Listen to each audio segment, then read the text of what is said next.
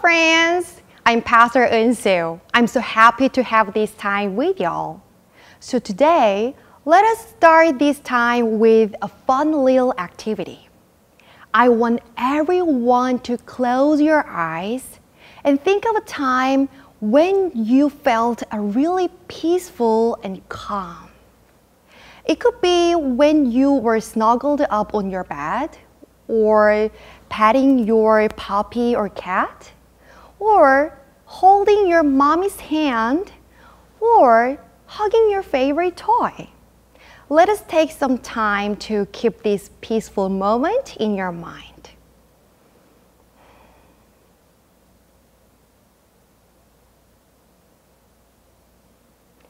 Now open your eyes. Well, for me, peaceful moment is when I am hugging this bunny called Barry and praying to God. Do you guys have this peaceful moment? Yeah.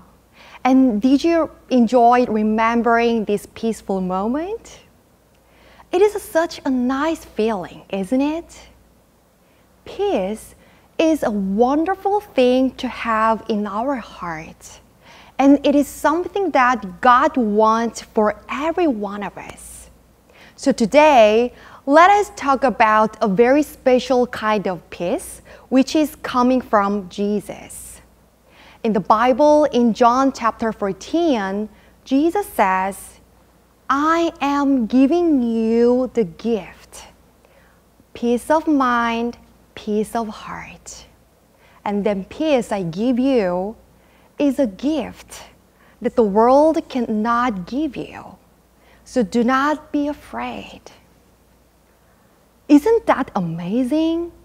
Jesus is saying that He is giving us peace, and that peace is different from anything else in the world.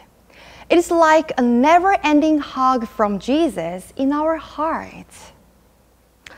Well, you know, sometimes we might have bad days. We might feel worried, scared, or even sad.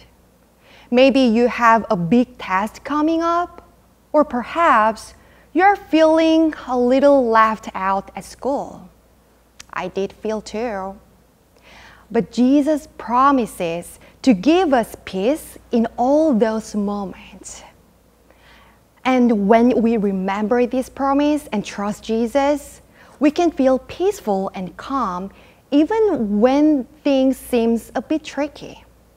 So beloved Wrightsville kids, next time when you feel upset or scared or worried or sad, let us just remember that Jesus is with you, wrapping you in his peace no matter what.